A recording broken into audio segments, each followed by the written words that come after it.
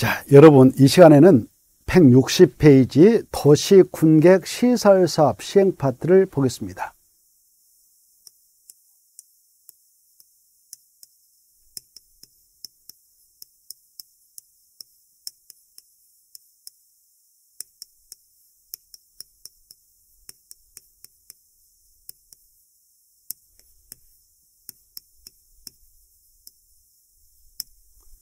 자, 이 도시 군객 시설 사업이 뭐냐?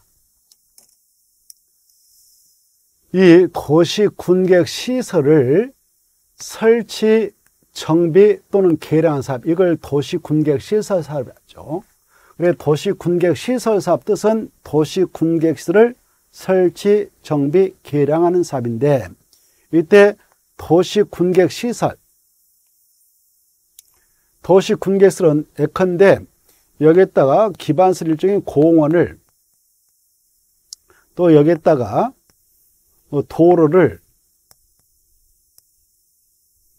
설치하기 위해서 도시군가로 딱 결정해놨다. 이런 것들을 도시군객 시설이라고 했죠. 이거 기반설입니다. 그냥 도시군가로 결정해 놓지 않으면 그냥 기반설이라는 용어를 쓰고요.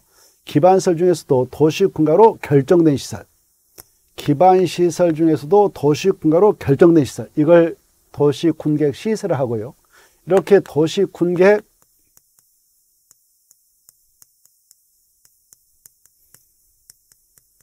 시설인 공환 조성 예주로 묵혔다. 그런 것들을 도시 군객 시설이라고 그랬죠. 이렇게 도시 군객 시설부로 묵혔다.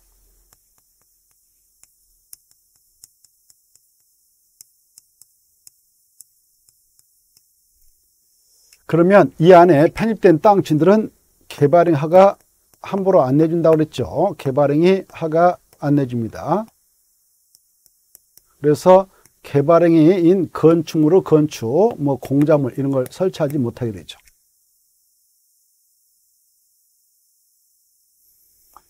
그래 이렇게 결정 고시해 가지고 여기가 뭐 서울특별시다. 그러면 여기 저기에 아직 개발되지 않은 땅이 있다 이렇게 공원 만들자 도로 설치하자라고 여기저기다 결정 고시를 해 놓습니다 이렇게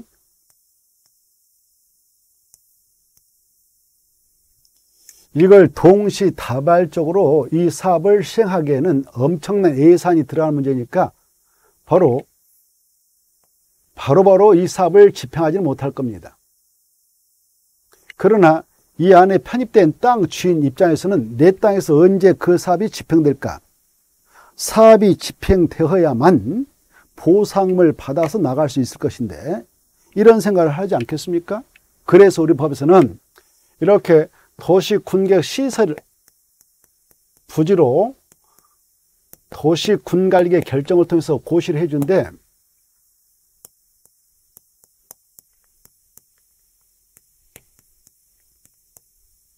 도시 군 관리계 결정 고시를 통해서 해주게 되는데요.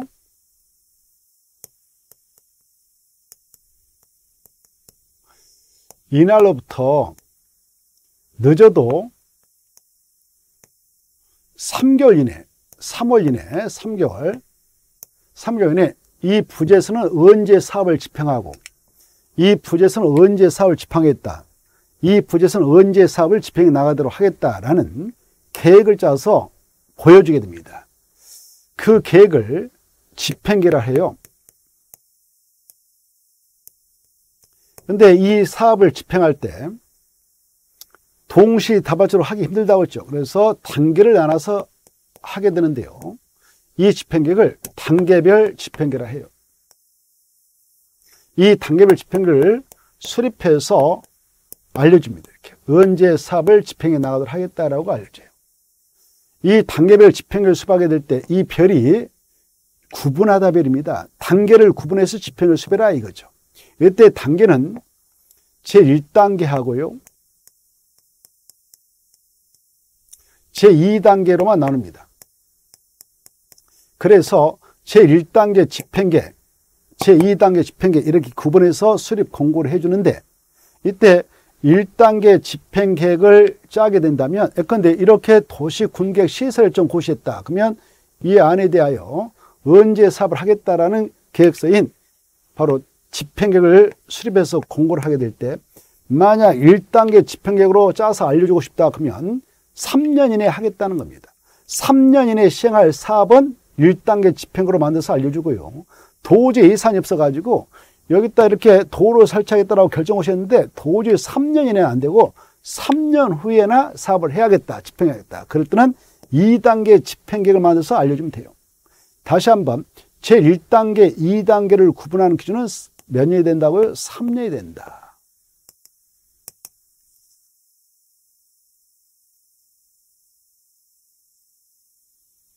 3년이 됩니다. 그래서 3년 이내 이렇게 결정하셔 놓고 3년 이내에 시행할 그런 시행할 도시 군객 시설 사업 그에 따른 재원 조달 계획하고 재원 조달 계획하고 보상 계획 이걸 포함해서 단계별 집행계로서 1단계를 만들어요. 2단계 집행계획은 3년 후에 시행할 사업, 3년 후에 시행할 도시 군계획 시설 사업 건과 그에 따른 재원 조달 계획하고 보상 계획을 포함해서 수립합니다. 이렇게 수립해 가지고 공고를 해줘요. 그래 여러분 땅이 여기에 딱 포함됐다. 그런데 이렇게 도시 군 관리 계획을 통해서 도시 군계획 시설이다라고 결정하셔 놓고 3개월에 단계별 집행을 공고했는데 2단계 집행계획에다 집어넣어서 공고했다 그러면 어, 내 땅에서는 3년 후에 사업을 하겠구나. 그래서 그에 따른 보상이 이루어지겠구나. 이렇게 생각해 볼 수 있는 것이고요. 이 안에 땅을 가지고 있는데 이렇게 도시군 관계획으로 도시군계획 시설비다라고 결정하셔 놓고 3개월에 단계별 집행을施공했는데 1단계 집행계획을 만들어서 공고했다 그러면 어, 내 땅에서는 3년 이내에 그 사업이 시행될 거니까 그 안에 보상이 이루어지겠구나라고 생각해 볼 수 있는 것이죠. 자, 그 내용을 바로 160 페이지하고 161페이지를 통해서 보겠는데 160페이지 가로 1번 읽어두실 것. 도시 군객 시설 사업 뜻꼭 읽어두셔야 돼요.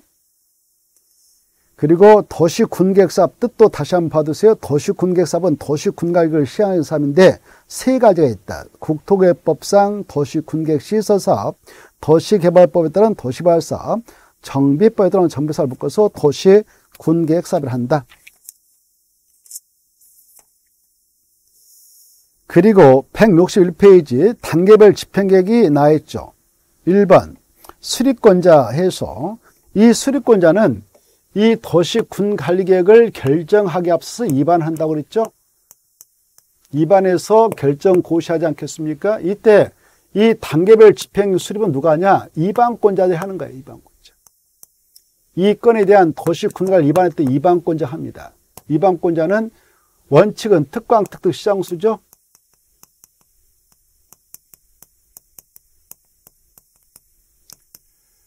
예외적으로 국토교통부 장관이 도사가 위반한 경우가 있죠. 그래서 이네들이 그 수립권자 돼요.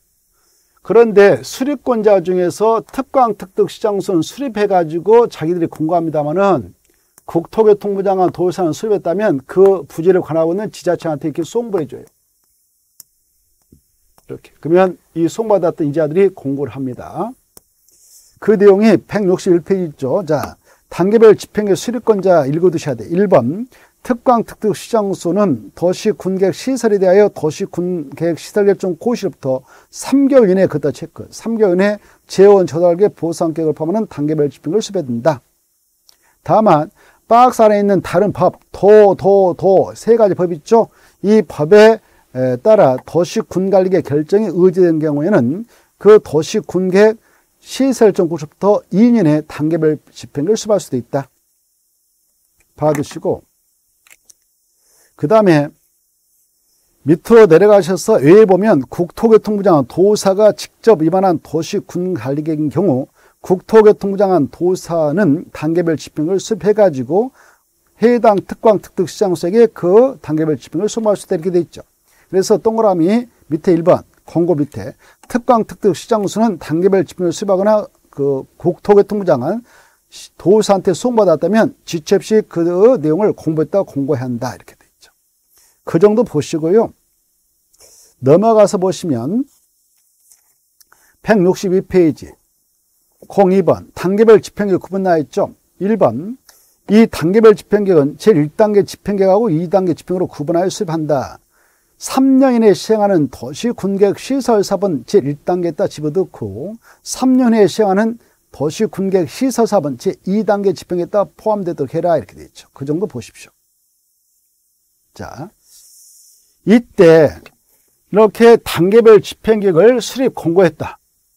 그런데 1단계 집행계획에 들어있다. 이 건이 1단계 집행계획을 만들어서 공고한 부지를 합시다. 그러면 몇 년의 사업을 합니까? 3년의 사업을 시행하겠죠. 이 건은 제2단계 집행계획에다 집어넣어서 공고를 했다 합시다. 그러면 몇 년 해야 합니까? 3년에. 3년 후라는 것은 언제 할지 모르죠. 언제 할지 모른단 말이에요. 예산이 없다는 이유를 들어서 언제 할지 몰라요. 그래 3년에 하겠다라고 했는데 10년이 지날 때가 안 할 수도 있죠.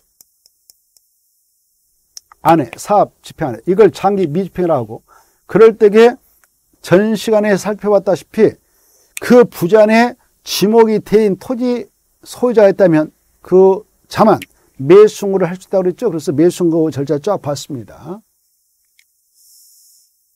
그리고 10년이 지나고 사업을 계속 안 했어. 20년이 지날 때까지 사업을 하지 않고 방치했다 그러면 20년이 된 날 다음날에 이 결정은 실효특에서 부재에서 해방시켜 줍니다. 20년이 된 날 다음날에 이것도 아주 중요해.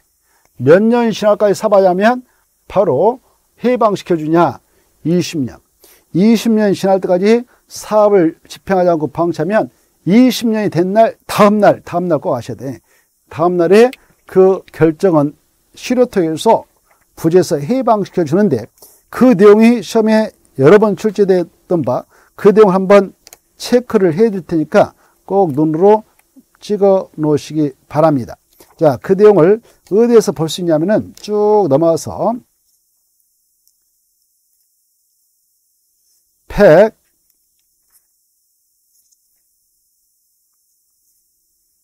87페이지 거기서 볼 수 있으니까 체크라고 봅시다. 187페이지 보면 가운데 도시 군객 시설 결정 실효에서 찾아보세요. 187조. 187조 보면은 1번 도시 군객 시설 결정 실효에서 가로 1번 중요합니다. 도시 군객 시설 결정 고시된 도시 군객 시설에 대하여 그 고시부터 20년 동안 함쳐 지날 때까지 그 사업이 시행되지 아니한 경우 그 도시 군객 시설 결정은 이 도시 군계획 시설정 이거 결정은 그 고시로부터 20년이 되는 날, 20년 동안 다음 날, 다음 날 동안 다음 날에 그 효력을 잃는다. 효력을 잃는다 이걸 약자로 한자로 실효된다 하죠. 실효되면 가로 2번 그걸 결정고시했던 자가 국토교통부장 시도사 대도시라면 그 도시 군계획 시설 결정이 효를 다 그러면 실효됐다 그러는데 실효된 사실을 마지막에 고시를 해줍니다. 이렇게 마지막에 그 사실을 고시해야 된다. 그 정도 보시고요. 자, 그거 20년, 20년 다음 날 효력을 상실한다. 이거 아주 중요하고 시험에 나오니까 잘 받으시기 바랍니다. 자, 그리고 이렇게 10년이 지날 때까지 사업을 하지 않고 방치하고 있다. 그러면 아까 매수 청구도 가능하다 그랬죠. 아까 했죠. 또 이 지목이 대인 토지 소유자뿐만 아니라 그 부자 안에 있는 토지 소유자들이 이 부재에서 해제 좀 해주세요라고 해제 신청도 할 수 있습니다. 토지 소유자가요.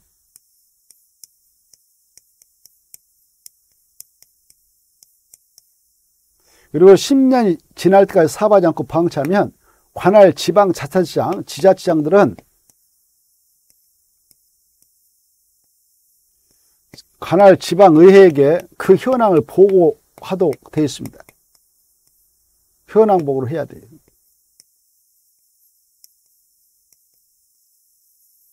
이렇게. 자, 만약 그 건을 대상으로 해서 사업을 시행한다. 그때 사업을 할 때는 절차가 있겠죠. 사업을 할 때는 도시 군, 계획, 시설, 사업, 시행,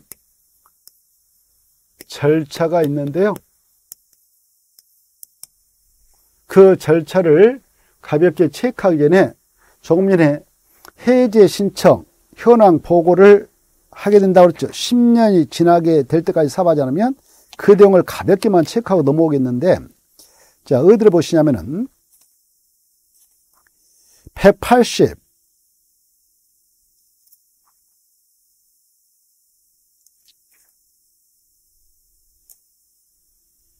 180 7쪽 봐보세요. 187쪽 보면은 도시 군객 시설정 해제 신청에서 가로 1번에 똥 1번 187쪽 자 해제 입안 신청에서 1번만 보고 갑시다. 도시 군객 시설 결정 90도 10년 이내에 도시 군객 시설의 설치에 관한 도시 군객 시설 사업이 시행되지 아니한 경우로서 단계별 집행계획상 해당 도시 군객 시설의 실효시까지 집행계획이 없는 경우에는 그 도시 군객 시설 부지로 되어 있는 토지 소자, 이 안에 있는 토지 소자입니다. 그 부지 안에 있는 토지 소자는 해당 도시 군객 시설 부지 내 신청인 소유의 토지 현황과 그리고 여러 가지 그 해제를 위한 위반 신청 사유의 사항이 포함된 신청서를 해제 신청서를 도시 군객 시세라는 도시군관리 이방권자 아까 이방권자가 뭐 특강 특특 시장소 이네들 있었죠 국토교통부장 도의사 이네들에게 그 토지의 도시 군객 시설 결정의 해제를 이렇게 결정했던 것을 해제해 주세요라고 해제 신청을 할 수 있습니다. 해제를 위한 도시 군관리 위반을 신청할 수 있다. 누가? 토지 소자들이. 있다, 없다, 있다 이 정도만 보세요.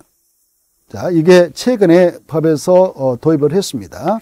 이 안에 있는 토지 소자들도 내 땅을 이 부재에서 좀 해방 좀 시켜주세요라고 해제를 위한 도시군관리계 위반을 신청할 수 있구나. 이렇게 받으시고 그 다음에 그것만 간단히 받으시고요. 그 다음에 185페이지 보면은 어 그 하단부에 도시 군객 시설의 해제 공고 해가지고 지방의회 보관하였죠. 가로 1번. 특광 특특 시장수는 이네들이 지방 자치단체장입니다. 이네들은 도시 군객 시설 결정이 고시된 그 도시 군객 시설이 다음에 해당하는 경우는 그 현황과 단계별 집행을 매년 해당 지방의회 의 정례회 임시 기간 중에 지방에 보고를 해라. 어떨 때 2번 그 결정을 시부터 10년이 지날 때까지 사업이 시행되지 않고 있다. 그럴 때는 지방에다 그 현황을 보고해라 이렇게 돼 있죠. 그 정도만 받으십시오. 뭐 그건 크게 중요한 거 아니에요. 자, 그 다음에 다시 앞으로 오셔가지고 180, 162페이지. 자, 162페이지 보면은 이 도시 군객 시설 사업 시행 절차로서 가장 먼저 나온 게 뭐가 나옵니까? 시행자 나오죠. 이 사업할 때 누가 이 사업을 하냐? 그래, 이 사업을 하는 시행자는 누구냐? 시행자는 크게 행정청이 시행자가 있고요.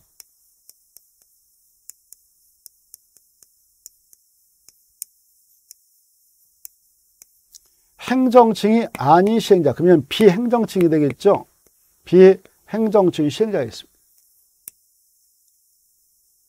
이때 행정청 시행자라고 하는 것은 그 부지를 관하고 있는 특광 특특 시장수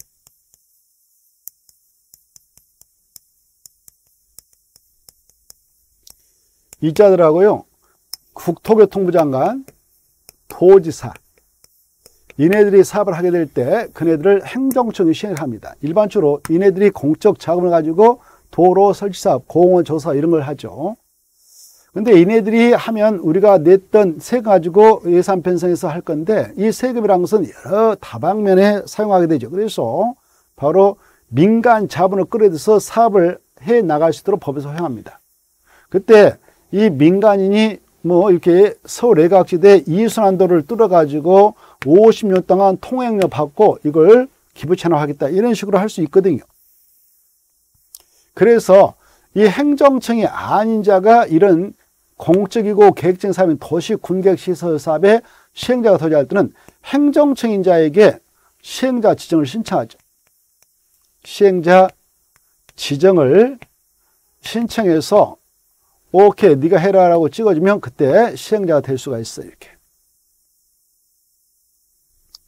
이때 순수 우리 민간인들이 이런 사업의 시행자가 되려 할 때는 그 사업 부지가 이렇게 있다 그러면 이 사업 부지에 바로 이렇게 3도 남아서 1, 2, 3, 3분의 이상에 해당하는 토지를 소유해야 되고요. 여기 짜트 땅 8명 있다 그러면 8명 중 2분의 이상을 동의를 받아야 돼요. 그래야 시행자 신청을 해서 시행자 지정을 받을 수 있습니다. 순수 민간일 때. 그러나 뭐 공적 기관인 한국 토지 주택공사가 이렇게 시행자 지정 신청서를 내려고 한다. 그때는 이런 토지소의 동의는 필요 없습니다. 자, 그런 내용을 체크해 보겠는데요. 162페이지 행정청이 시행자가 보이죠. 오른쪽에 행정청이 아닌 시행자 보이죠. 자, 행정청이 시행자를 보니까 원칙, 특광, 특등, 시장수, 예회, 국토교통부장은 도의사였다. 이 행정청이 시행자 파트를 잘 좀 읽어두셔요, 여러분들은. 그래, 이 사업을 하려는 데 여기가 서울특별시 다면 서울특별시장이 서울특별시 예산 가지고 시행자 돼서 한다 이 말이죠. 자, 모 시민 시장 이렇게. 그래 각각 지자체장이 자기 지역의 예산 가지고 원칙적으로 자기가 시행자 되는데 이때 이 사업부지가 두 개 이상을 지자체에 걸치면 관할 그 관계 지자체장이 만나서 협의해 가지고 시행을 정하고요. 협의가 이루지 않았다 그러면 동그란 3번이 있죠. 그 부, 사업 구역이 같은 도 관할구에 속할 때는 관할 도의사가 시행자를 찍어주면 그자가 되고 둘 이상의 시도의 관할구에 걸쳐서 하려는데 시행자 문제가 협의가 이루지 않았다. 그러면 국토교통부 장관이 시행자를 정해주면 그자가 시행자가 된다. 가로 2번 국토교통부 장관이 직접 국가 예산 가지고 시행자가 돼서 사업할 때 어떤 경우냐 국가개혁과 관련된 사업일 때 그리고 특도지사도 어떨 때는 도 예산 가지고 지가 사업을 하냐 광역 도시개혁과 관련된 사업일 때는 도의사가 직접 사업을 할 수 있습니다. 그리고 163페이지에서 자 행정청인 자가 아닌 자 바로 국토교통부 장관 시도사 시장수가 아닌 자 이런 자들이 시행자 지정을 바꾸려 할 때는 얼마의 동의사 필요하냐 가로 2번이 중요해요. 가로 2번 순수 민간 시행자가 시행자로서 지정받긴 요건 해가지고 32회 때 나왔다 이렇게 돼 있잖아요. 거 보면 다음 각호에 해당하지 아니한 자 그럼 민간입니다. 민간인이 도시 군객 시설 사업 시행자로 지정을 받으려면 사업 대상 토지 국공지가 일단 빼고 사유지를 기준으로 해서 3분의 1 이상에 해당하는 토지를 소유하고 토지 소유자 총수의 2분의 이상에 해당하는 자의 동의를 얻어서 내야 시행자 지정을 받을 수 있다. 그러나 밑에 1번 국가 지자체계 행정청이에요. 그리고 2번 공공기관인 한국 토지 주동사만 딱 내붙여요. 다른 거 볼 필요 없고. 한국 토지 주동사, 그 다음에 3번에 기업, 지방사, 지방다 이렇게 국가, 국가, 지방 자치단체, 한국 토지 주택공사, 지방사, 지방단, 얘네들을 약자로 우리끼리 이렇게 합시다. 국지공, 국치공, 국지공, 국지공, 한국 토지 지동사, 지방사, 지방당, 국지공 하면 다 걸리죠. 이 국지공이 아닌 민간인만, 민간인이 바로 이렇게 시행자 지정 신청을 하려고 한다. 그럴 때 시행자 지정 신청을 내려고 한다. 그러면 사업 대상 토지밀 3분의 1 이상에 해당하는 토지를 소유하고 토지 소유자 총수 2분의 3을 도의를 받아라. 다만 면적 계산할 때 국가 땅, 지하철 땅이면 그거 빼고 사유지를 바탕으로 해서 3분의 2 이렇게 해서 동의서 얻어서 내게 됩니다. 그런데 이 한국 토지동사 국지공의 시행자 지정 신청을 낼 때는 이런 동의 필요 없이 시행자 지정 신청을 내면 된다. 특히 한국 토지 주택공사가 두번 냈습니다. 한국 토지 주택공사 가지고 두 번 냈으니까 잘 봐두셔야 돼. 한국 토지 주택공사가 시행자 지정을 신청하려면 사업 대상 토지 면적의 3분의 1상을 소유하고 토지 소자 총수의 2분의 1상을 돌받는다 이렇게 나왔어요. 그럼 틀립니다. 아주 중요하니까 그거요 잘 봐두시고 나머지는 이제 볼 것 없어요. 그게 포인트거든요. 자, 나머지 통과하고 이제 시행자가 결정 났다. 그러면 시행자들은 사업을 하려면 뭐 하느냐? 164페이지 사업을 이렇게 하겠다라는 짜는데 그걸 실시계획이라고 그래요. 그래서 실시계획을 작성합니다. 제목만 받으세요. 제목만. 자, 그래 이 시행자가 확정됐다. 그러면 얘네들 사업을 할 때에 사업을 이렇게 실시하겠다는 실식을 다 작성해요.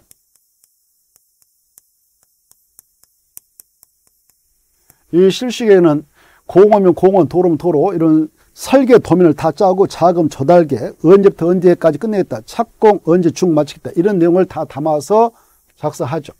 그리고 그 사업장에 도로 뭐냐 공원 농지가 있다, 산지가 있다, 뭐 화장실 건물을 또 공원에다 집어넣으려고 한다. 그때는 농지법상 농지용 허가, 산지법상 산지용 허가 등 건축상 건축을 받아야 하는데 그런 서류를 다 준비합니다.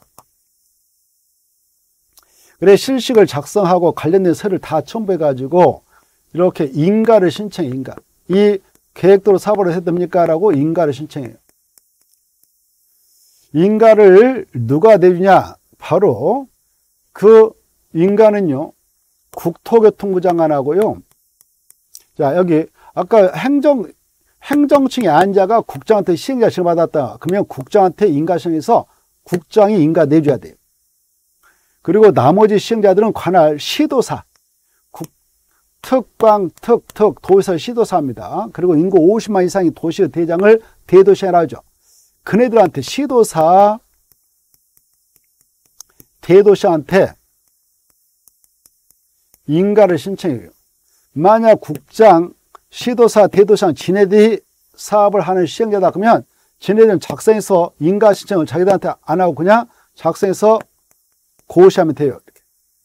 그리고 이 국토교통부장은 시도사, 대도시장이 아닌 자일 때는 이네들한테 인가 신청, 인가 고시가 떨어져야 사업에 착수할 수 있는 겁니다. 이렇게.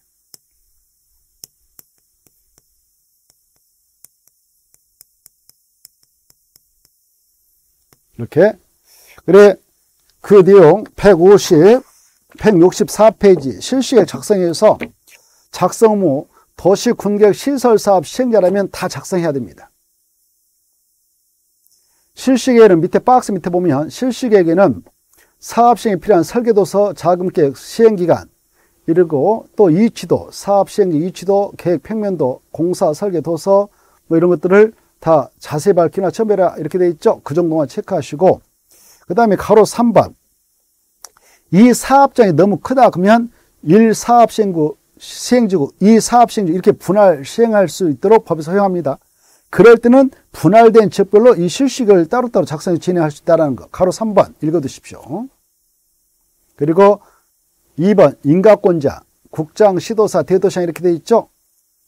인가권자는 그네들입니다. 통과해도 되고 그 다음에 166페이지 통과해도 되고 168페이지 168회 보면 제 실시계획 인가고시 작성고시가 떨어졌다. 고시가 떨어지면은 여러 가지 법적 효과가 있습니다. 사업 시행할 수 있는 시행권이 발동된 것이고 관련 법에 따른 여러 가지 인허가를 받은 걸 의지 처리해서 절차에 관서를 가해 주죠. 자, 그리고 160 7 160 170페이지 171페이지를 보십시오. 그리고 이제 사업을 해. 실시에 고시가 떨어지면 사업에 착수할 수 있습니다. 이렇게 착수해요. 그래 착수해가지고 이렇게 공원이면 공원 조성 사업을 합니다. 도로면 도로 설치 사업을 하겠죠. 사업을 열심히 합니다. 그때 이 시행자를 보호하는 규정을 두고 있어요. 그래서 법적으로 보호를 받아서 열심히 사업합니다. 이 보호 규정을 여러분은 좀 잘 봐두셔야 돼요. 그래 보호받아서 공사 마쳤다. 마칠 준 공사공. 그러면 중음서를 받아요. 누구한테 받느냐? 이 사업장을 관하고 있는 시도사 대도시한테 가서 받습니다. 그래 시도사 대도시장 이보다 더 윗사람인 국토교통장관이 사업 신고했다. 그러면 자기들은 공사 다 끝나고 나서 중검사 받지 않고 그냥 공사 끝났다라고 공사 완료 공과면 사업은 마무리되는 것이죠. 이렇게. 이때 이 파트가 중요해. 시행자 보호 중에 뭐가 있느냐? 이 안에 들어가서 사업할 때 이 시행자들 사업장이 너무 크다 그러면 1사업 시행주고 2사업 시행주 이렇게 분할 시행할 수 있어요. 그래서 시행자 보호 규정을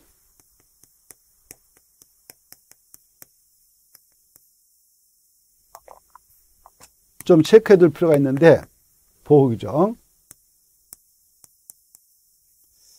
첫째, 분할 시행을 법에서 허용하고 있다. 분할 시행 가능하다. 분할 시행할 때는 분할된 시별로 실식을 따로따로 작성해서 진행할 수 있다. 두 번째, 이 땅 주인들에게 정당한 보상 처리하고 소유권 넘겨받아야 사업할 수 있는데 그러기 위해서는 권리관계를 다 들여다봐야 되겠죠. 그런 서류로는 뭐 토지, 건물, 등기상, 전부 증명서, 뭐 토지대장, 건축물대장 이런 거 있겠죠. 이런 것들을 관계 서류한데요. 이런 관계 서류의 무료 열람과 관공세 가서 무료 열람도 할 수 있고요. 그리고 그 등본 초본을 무료로 복사 청구도 가능합니다. 또 교부 청구도 가능합니다. 발급 청구를 다 할 수 있어요. 무료로 복사도 할 수 있고 또 등초본, 등초본 발급 청구도 가능합니다. 발급 청구도 공짜다 이겁니다. 공짜. 무료로 할 수 있다. 그리고 이 시행자들 여러분 논밭이 여기 아직 소유권을 여러분이 안 넘겨졌다. 그러나 사업을 준비하기 위해서 이 시행자들은 이 타인 토지지만 바로 타인 토지에 출입이 가능해 법적으로. 타인 토지 등에의 출입을 허용받는다. 출입을 허용받습니다. 이것도 시행령을 보호하는 규정이에요. 다만 출입할 때는 미리 출입하기 전 7일 전에 여기 있는 토지소유 전문자 관리에게 출입 목적 일시 장소를 미리 알려줘요. 7일 전에. 알려주고 들어가서 조사 측량하는데 어, 낮에는 안 계십니다. 그러면 밤에 택지라든가 울타리 담장으로 둘러싸인 토지에 출입할 때는 바로 그 점유자의 승낙 없이는 들어갈 수 없고 점유자 승낙 있으면 들어갈 수 있어요. 그리고 여기 조사 측량할 때 장애물이 했다 뭐 그러면 나무 흙 돌 같은 장애물이 있으면 제거 변경할 수 있고 나무 토지만 일시 통로로 일시 사용할 수 있습니다. 그럴 때는 미리 허가를 받고요. 그리고 3일 전에 알려주고 그런 행위를 할 수 있어요. 이로 인하여 손실을 입히면 손실보상 해주면 끝입니다. 손실보상은 누가 해주냐? 바로 행정청일 때는 그 행위자가 속한 행정처에서 하고요. 비행정청의 시행자는 그 시행자 해줍니다. 그리고 이 손실을 보상할 자하고 손실을 입은 자가 협의해서 처리하면 좋은데 협의가 이루어지면 재결 신청을 토지청에다가 해서 답을 구할 수도 있어요. 자, 이렇게 타인 토지 출입을 허용받고요. 그 다음에 시행령을 보호하기 위한 규정으로서 이 안에 만약 국가 땅, 지자체 땅이 있다. 이걸 국유지 공유란데 이 국가 지자체라도 도시 군가로 정하고 있는 목적의 목적으로 매각을 하지 못하고 제한합니다. 그래서 시행령을 보호해주고 있어요. 만약 그네들 팔아버리면 시행령 들어가 또 사들여야 되잖아요. 그래 국공유지의 처분 제한을 가해가지고 시행령을 보호해주고 있어요. 이 하지 말라 그랬는데 했다. 그러면 그 무효 처리 해버리겠다 이렇게 하고 있습니다. 그리고 강력한 보호 규정으로서는 이 안에 이 공원 조성사업을 하려고 하는 이 부자 안에 땅 주인들이요 좋게 협의 양도해 주면 좋은데 땅값 다 받고 보상 받고 나가면 좋은데 끝까지 버틴 사람이 있단 말이에요.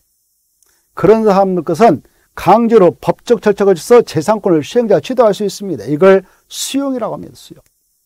수용도 가능하고 강제 수용, 강제 사용 가능해요. 다만 이 도시 군객 시설 사업에 필요한 이 부자는 것들은 다 강제 수용, 강제 사용도 가능하죠. 법대로 해가지고. 근데 이 부지에, 이 시설에 인접해 있는 것들은 수용을 못하고 사업할 때 일시 사용만 허용받습니다.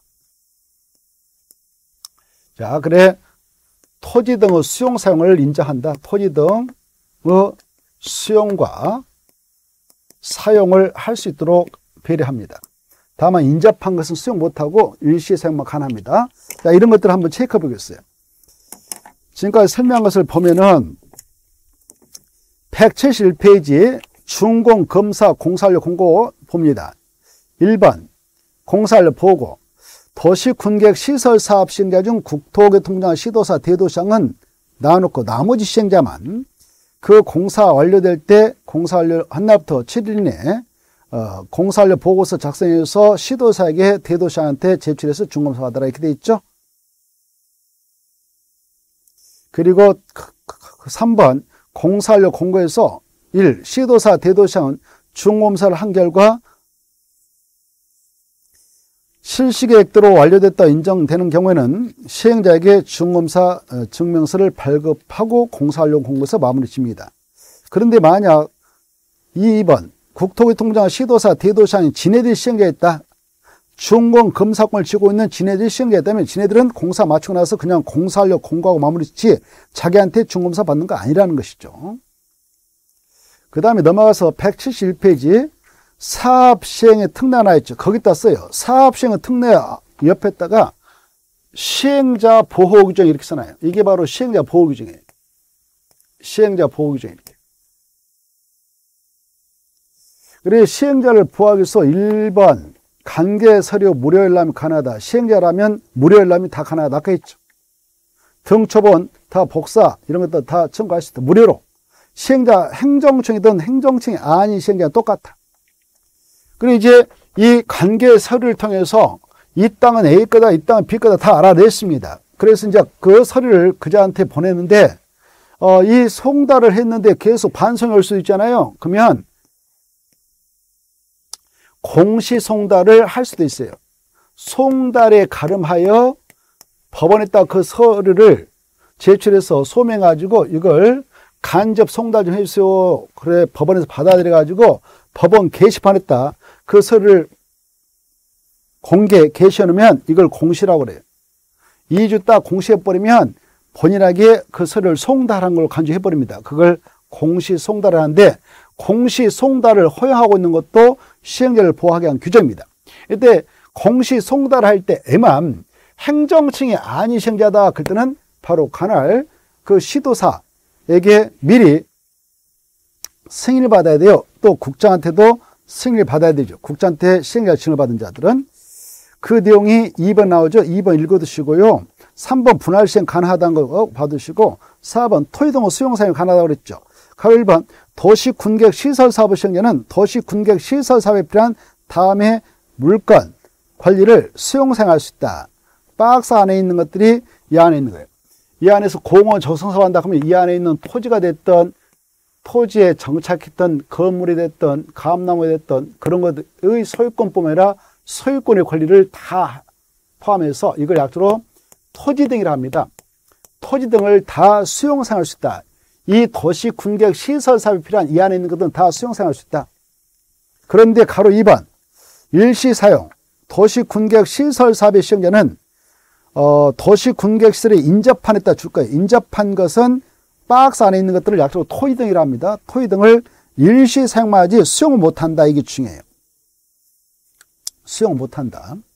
그 다음에 대한민국에서 수용하고 보상할 때 적용하자는 법이 공치법이 있어요. 공익사업을 위한 토지 등 시위 등및 보상 법률. 이 법을 갖다 갖다 적용한다. 이걸 준용이라 하죠.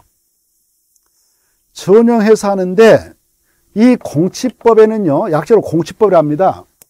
공익사업을 위한 토의등의 취득 및 보상 법률 너무 길죠. 법의 이름이 21자나 된단 말이에요. 그래서 너무 기니까 우리끼리 공치법을 합시다. 이 공치법은 공익사업을 할때 수용을 인정하는데요. 그때 수용권을 인정받기 위한 절차로서 야 공익사업으로서 사업 인정을 받아야 된다 이렇게 하고 있습니다. 사업 인정 받으면 공익사업 시행자에게 수용권을 주는 거예요. 수용권.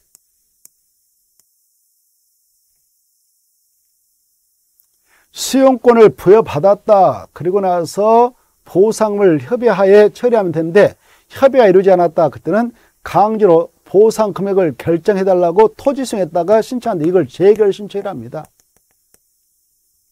재결 신청은 사업 인정부터 1년 이내 해라. 그렇지 않으면 1년이 된 날 다음날에 수용권을 주었던 사업 인정을 실토하겠다 이렇게 하고 있어요. 공시법 이렇게 됐거든요. 그런데 그에 대한 특별한 예를 국토협상 도시 군객 시설 사업할 때는요.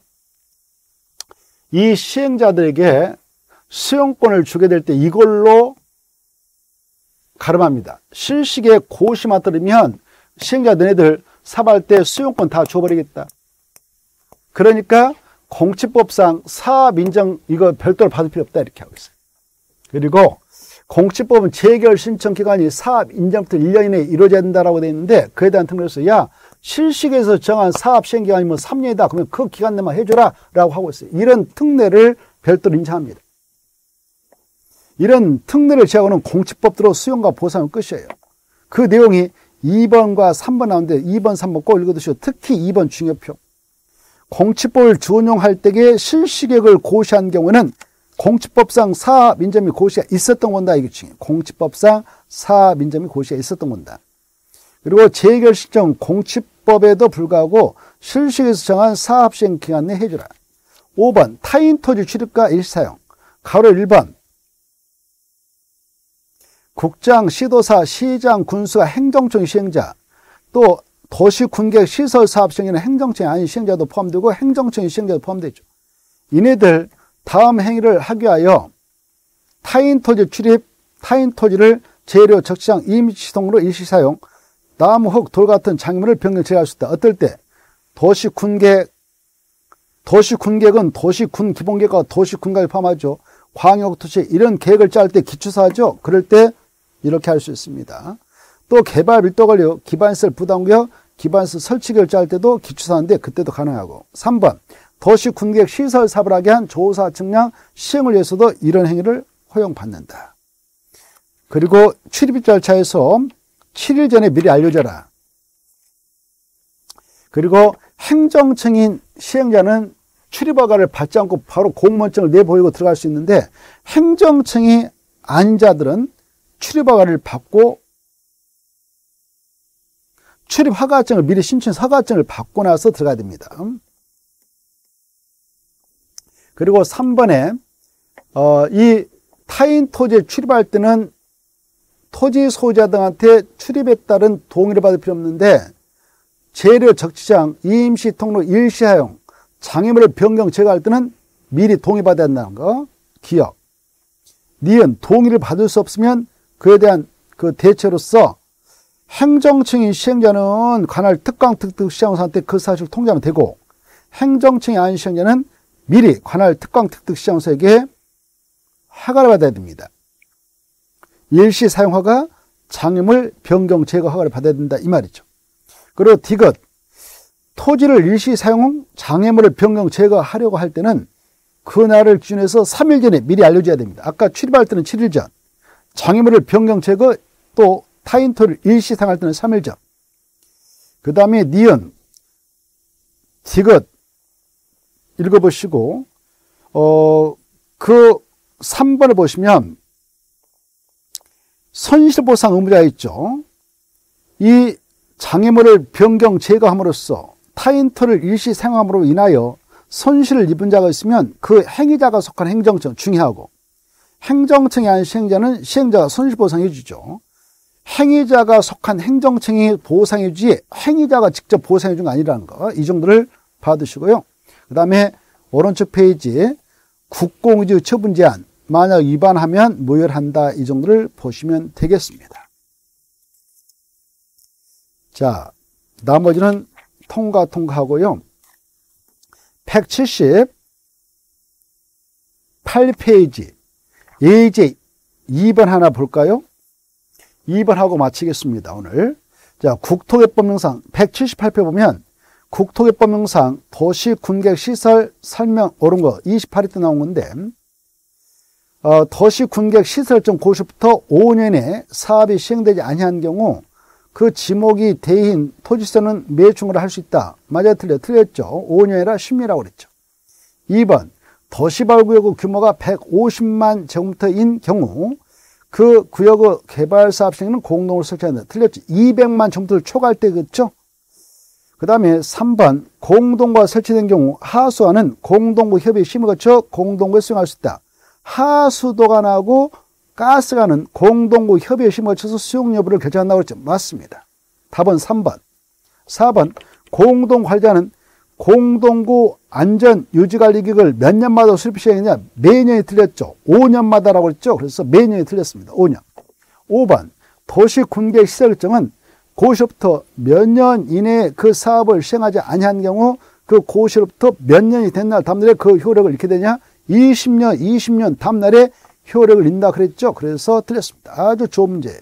자, 여기까지 하고 오늘의 일정을 마무리 짓고요. 자, 다음 주에는 어디를 하느냐? 쭉 넘어가서 보시면은 200페이지가 나올 겁니다. 아니, 192페이지. 자, 지금까지 우리는 오늘 이걸 집중 정리했어요. 용도 구역하고 기반 시설 설치 정비 계량 이 내용을 집중 정리했죠. 입주지 취소 구역까지. 그리고 다음 주에는 바로 이 5번 할 겁니다. 5번. 지구 단위 계획구역 지정화 변경 지구 단위 이 파트를 다음 주에 할 테니까 참고하시고 오늘 했던 내용을 복습을 통해서 좀 잘 반복적으로 읽어보시기 바랍니다. 자, 오늘은 여기까지 하고요. 수고하셨습니다. 안녕히 계십시오.